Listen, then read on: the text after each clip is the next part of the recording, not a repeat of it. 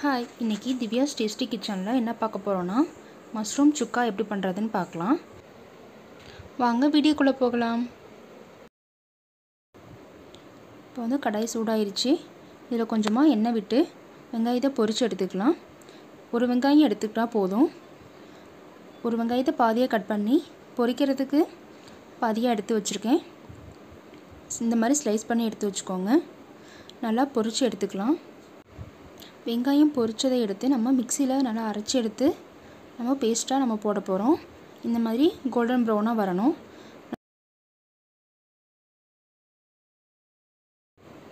வெங்காயம் நல்லா ஆறுனதுக்கப்புறம் ஜாரில் மாற்றிட்டு அரைச்சி எடுத்துக்கோங்க. இதில் வந்துட்டு அதே கடாயில் கொஞ்சமாக எண்ணெய் ஊற்றி இதில் பட்டை லவங்கம் எல்லாமே போட்டு நம்ம தாளிக்க போகிறோம் கொஞ்சமாக சோம்பு அன்னாசிப்பூ ஜீரகம் மிளகு பட்டை கிராம்பு எடுத்திருக்கேன். இது நல்லா எண்ணெய் காஞ்சதுக்கப்புறம் லைட்டாக பொரித்து எடுத்துகிட்டு வெங்காயம் போட்டுடலாம். ஒரு வெங்காயத்தை பாதியாக கட் பண்ணாத மீதி இங்கே வச்சுருக்கேன். இதையும் இதில் போட்டுட்டு நல்லா வதக்கிக்கோங்க. மஷ்ரூம் சுக்கா வந்துட்டு ஒரு சாம்பார் சாதம் இல்லை தயிர் சாதத்துக்கு தொட்டு சாப்பிடும்போது சூப்பர் டேஸ்ட்டாக இருக்கும். இப்போ வந்து நல்லா வெங்காயம் நல்லா வதங்கிருச்சு. இந்த ஸ்டேஜில் ஒரு தக்காளி வந்து நறுக்கி வச்சுருக்கேன். அதையும் சேர்த்துக்கலாம். இது நல்லா வதங்கணும்.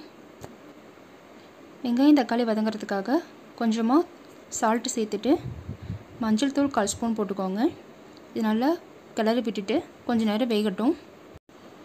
வெங்காயம் தக்காளியும் கொஞ்சம் நல்லா வதங்கினதுக்கப்புறம் ஒரு ஸ்பூன் இஞ்சி பூண்டு இது சேர்த்துக்கலாம். அதையும் நல்லா மிக்ஸ் பண்ணி விட்டுட்டு நல்லா கொஞ்சம் நேரம் அந்த இஞ்சி பூண்டு பேஸ்ட்டோட அந்த ஸ்மெல் போகிற வரைக்கும் நல்லா வதக்கிட்டு இந்த ஸ்டேஜில் நீங்கள் கருவேப்பிலை போட்டிங்கன்னா சூப்பர் டேஸ்ட்டாகவும் இருக்கும். அந்த ஃப்ளேவர் வந்து உங்களுக்கு உள்ளே நல்லா இறங்கி சூப்பர் டேஸ்ட்டாக இருக்கும் கொடுக்கும் உங்களுக்கு. ஃபஸ்ட்டே போட தேவையில்லை. இதில் போட்டிங்க அப்படின்னா தான் சூப்பராக இருக்கும். மஷ்ரூம் எப்போவுமே வந்து சுடுதண்ணியில் போட்டு நல்லா கழுவிட்டு அப்புறமே நார்மல் வாட்டரில் நல்லா அலசிட்டு அதுக்கப்புறமே கட் பண்ணி எடுத்து வச்சுக்கோங்க. இப்போ அப்படி தான் எடுத்து வச்சுருக்கேன். இதையும் நம்ம சேர்த்துடலாம் இது வந்து ஒரு நூற்றம்பது கிராம் எடுத்திருக்கோம். இது வந்து நல்லா மிக்ஸ் பண்ணி விட்டுருங்க.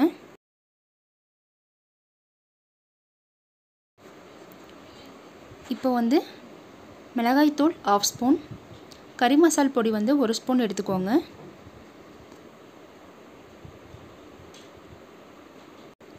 இந்த மசாலா லைட்டாக பரட்டி விட்டுட்டு இது கூடவே நம்ம வெங்காயத்தை அரைச்சி எடுத்து வச்சுருக்க இந்த பேஸ்ட்டையும் நம்ம சேர்த்துடலாம் நல்லா மிக்ஸ் ஆகிற மாதிரி மஷ்ரூமோட மிக்ஸ் ஆகணும். நல்லா கிளறி விட்டுட்டு தேவையான அளவு உப்பு சேர்த்துக்கோங்க.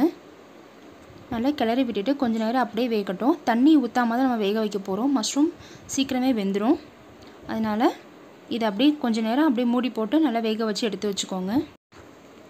தண்ணி ஊற்றாமையும் ஒரு ஃபைவ் மினிட்ஸ் மூடி போட்டு வேக வச்சு எடுத்து வச்சுக்கோங்க. இந்த ஸ்டேஜ் வந்ததுக்கப்புறம் தேங்காய் பால் ஒரு கால் கால் கப் எடுத்து வச்சுருக்கேன். அதையும் வந்துட்டு இதில் ஊற்றி நல்லா மிக்ஸ் பண்ணி விட்டுருங்க. இது வந்து ஒரு க்ரீமியான ஒரு டேஸ்ட் கொடுக்கும். கால் கப் போதும் நம்மளுக்கு. ரொம்ப தண்ணியாக இருக்க போகிறதில்ல சுக்காங்கும் போது இந்த ஸ்டேஜில் தான் இருக்கணும். சூப்பராக நம்மளுக்கு ரெடி ஆயிடுச்சு இந்த ஸ்டேஜில் கொஞ்சமாக பெப்பர் தூவி இறக்கிடுங்க சூப்பர் டேஸ்ட்டாக இருக்கும். நம்மளோட மஷ்ரூம் சுக்கா ரெடி ஆயிடுச்சு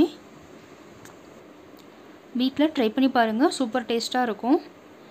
திவ்யாஸ் டேஸ்டி கிச்சனை சப்ஸ்கிரைப் பண்ணுங்கள் ஷேர் பண்ணுங்கள் கமெண்ட் பண்ணுங்கள் லைக் பண்ணுங்கள் இந்த வீடியோ உங்களுக்கு பிடிச்சிருந்தா அண்ட் ஃபேமிலிக்கு ஷேர் பண்ணி விடுங்க தேங்க்யூ